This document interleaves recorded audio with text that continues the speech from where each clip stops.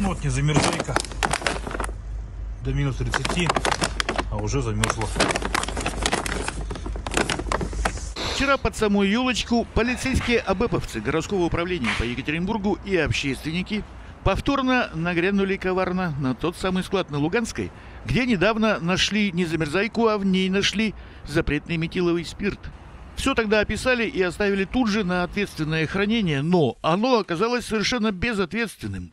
Индивидуальный предприниматель Александр Стариков продолжал ядовитой жидкостью банчить, и полицейские с народным контролем поймали двух грузчиков на контрольные закупки. 144 банки были проданы вопреки строгому запрету.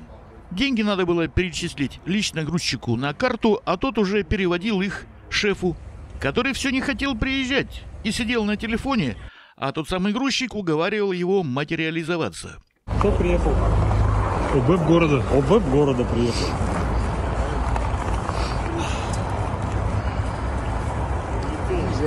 Да я откуда закон это знаю, ты ты?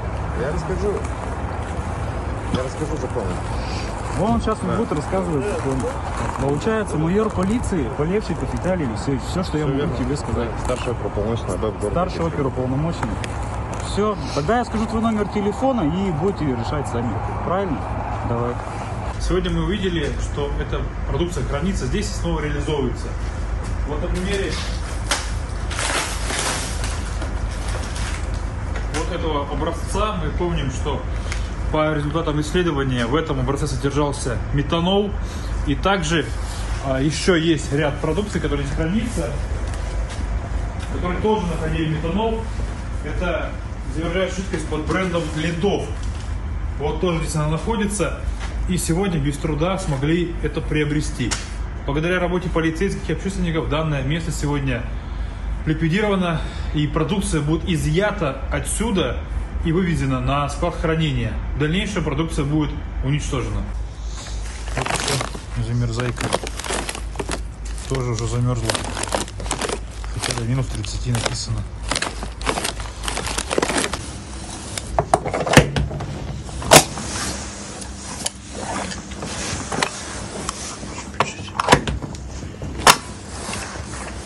Фоксимиль подписи, да, получается? Две фоксимильки и три организации. Уральская торговый холдинг, ИП Стариков Александр Олегович и ООО Старпрайм. На этот раз арестованный товар безответственному хранителю не доверили. Если повторная экспертиза подтвердит наличие метанола, а первая, напомним, подтвердила, и этикетки все те же самые, то будет уничтожена вся эта партия в 20 тысяч литров, которую со склада на Луганской физически изъяли и вывезли.